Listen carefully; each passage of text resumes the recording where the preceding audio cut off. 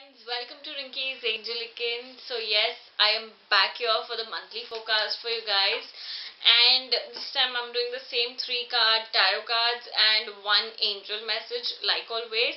Um, if you all follow me on my Insta page and my Facebook page, I have got a new deck of cards, the same Rider-Waite that I was using earlier but it's just that I've got a new deck. It was 11 years that I was using those cards and somehow the pictures have been uh, really faded in those cards. So here's my new deck that I'm gonna read for you from this deck and uh, without any further ado, let's get started.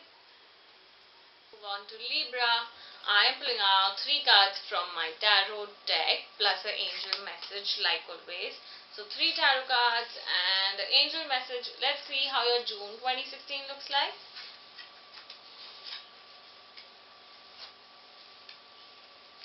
Okay.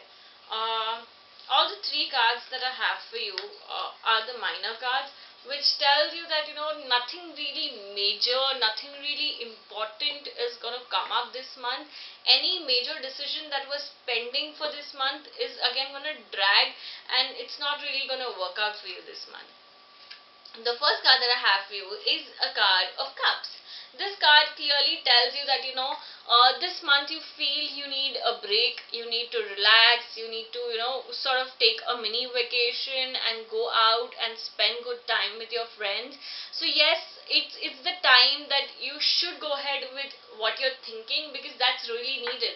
You feel you aren't really able to focus on your work, you aren't really, you know, giving uh, enough time to your family. So yes, yes, you need to go out with your friends and family this month to get rejuvenated and you know refresh your mind and everything. So yes that's on the cards. Uh, the second card that I have for you is Ace of Wands. Ace of Wands is telling you that you know uh, basically there is certain thing coming your way. Thing in the sense there is certain opportunity coming your way in terms of uh, finances. You know somebody in your friend circle might you know uh, give you a proposal to invest into a certain thing where you know your finances would really boost up very soon. But for now tarot cards are telling you you do not get into anything like that you know. Do not invest your money at the moment. Especially for june it's advised not to invest into any financial things because that's sort of not favoring you.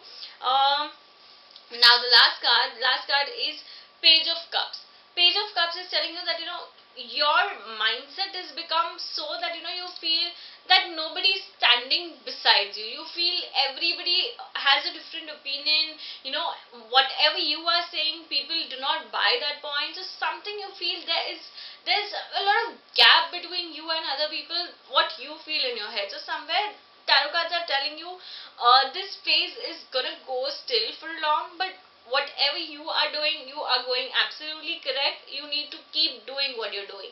Now the angel message. Angel message is quite relating to the cards which just said you know that you have to do whatever you feel like doing. Rather people supporting you or not is the second story. But angels are telling you stand your ground. So you know angels are being very clear saying that you are doing absolutely the correct thing even people uh, if people don't buy your point it's okay because you are on the correct path. Keep doing what you were doing. Stand your ground because you know people around you are forcing you to a different decision altogether which is not good for you. So angels are telling you do what you like stand your ground and that's going to get you success. So yes this is all for you guys. Stay tuned stay connected for my upcoming videos